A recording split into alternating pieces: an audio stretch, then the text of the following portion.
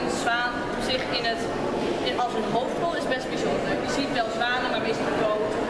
Of ja, leven in een stil leven, maar niet als hoofdrol. Je ziet dat de zwaan een hele open houding heeft. Hij vecht als het ware tegen de, de hond die uit het water komt.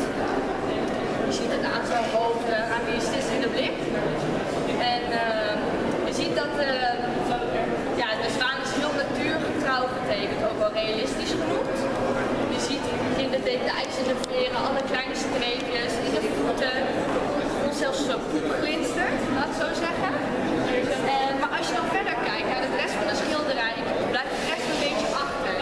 Je ziet dat de hond is eigenlijk een soort van eerste laag getekend, maar het, het is niet zo geweldig uitgewerkt als de zwaan. En zo hetzelfde aan de andere kant van de schilderij, bij de eieren. De eieren zijn nog best wel plat.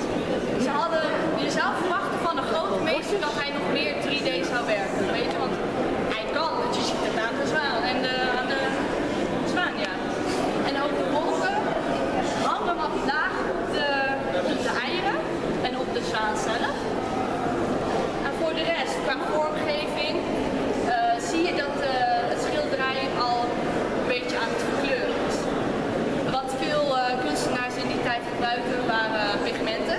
Daar mengen ze hun verf mee. Maar pigmenten zijn duur. Zeker als het gaat om blauw. Toch heeft hij wel gebruik gemaakt van het dure pigment.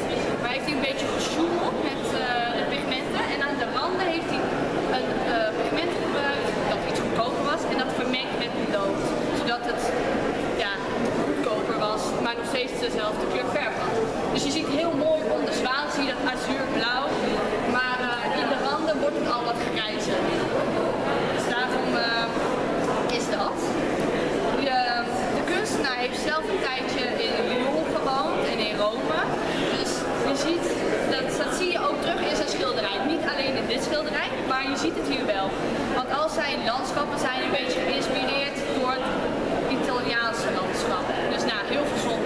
En je ziet ook dat het gouden licht dat uit de linkerhoek komt, die het stro raakt, dat zie je een soort goud oplichten.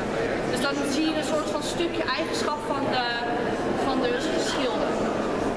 En verder is het een heel bijzonder schilderij door de politieke verhaal, het politieke gebeurtenis die eraan gekoppeld is. Wat wel typisch is, want het was niet origineel. De politieke gebeurtenis is wel heel opvallend binnen het schilderij, want in het schilderij zijn zinnetjes, woordjes verborgen.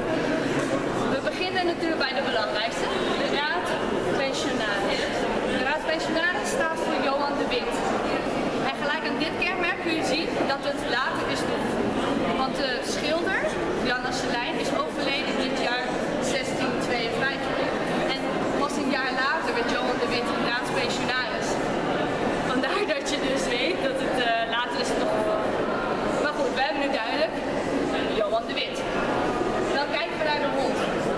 Maar na de oorlog werden we aangevallen door Engelsen. Die vielen ons aan over het water. Dus vandaar dat de hond, de zwarte hond, staat voor uh, gevaar, vijand. Komt uit het water. Dus dat is gelinkt aan dat verhaal. En aan de andere kant van het schilderij zien we de eieren. Dat is ja, zijn, zijn nest, dat beschermt hij met zijn leven. En dat staat voor Holland. Johan de Wit beschermde Holland, de Nederlanden, het land waar hij woont. En uh, daaraan zie je dus het politieke verhaal. Dat zie je heel uitgebeeld uit. Hij vecht echt ervoor. De, de hond komt eraan. Maar ook de, uh, een feitje is dat de familiesymbool, het wapen van uh, Johan de Wit was ook een zwaan. Dus vandaar is de link tussen dit schilderij en Johan heel erg goed uh, te koppelen. Nou, ik weet niet of jullie weten de Wit is afgelopen, maar ergens hier in het museum hangt nog een schilderij met dat hij gemarteld is en helemaal opengesneden. Echt super, super ranzig. Dus daar kunnen jullie zo ook nog een kijkje nemen. Maar uh, nee, hij is er niet meer. En uh, sindsdien heeft daarna heeft, ja, is het een koningshuis geworden, dus het allemaal is het veranderd. Maar uh, ja, zijn verhaal is wel nog uh, te zien hier en dat is natuurlijk super mooi. En dan uh, heb je wel schilderij, maar heeft iemand nog iets te vragen? Of nu we toch bezig zijn? Iemand. Omdat je het helemaal fantastisch vertelt. Dank je wel. Ja. Dank je wel. Dus dan, uh, Heel erg bedankt. Ja, geen probleem.